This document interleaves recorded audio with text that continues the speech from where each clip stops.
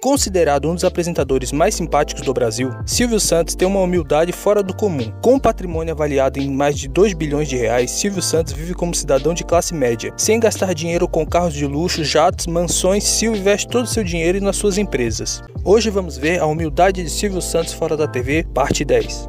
Durante uma entrevista no sofá da sala de casa ao lado da esposa Iris, Silvio revelou que adora lavar a louça depois que a esposa cozinha. Eu só lavo a louça de noite, depois que ela depois que, ela, que a Iris faz a comida, aí eu lavo a louça, porque aí é, ela não pode reclamar que ela está fazendo a comida. É, é, é metade de cada um. Durante um passeio em um shopping dos Estados Unidos de pijama, Silvio foi reconhecido por alguns brasileiros. Veja a reação do apresentador. Quem que a gente encontrou aqui no shopping? Ó, dá uma olhada, ó. Isso que é bom, ó, você tá nos Estados Unidos, você pode vir até de pijama no, no shopping, ó. Aê, Silvio!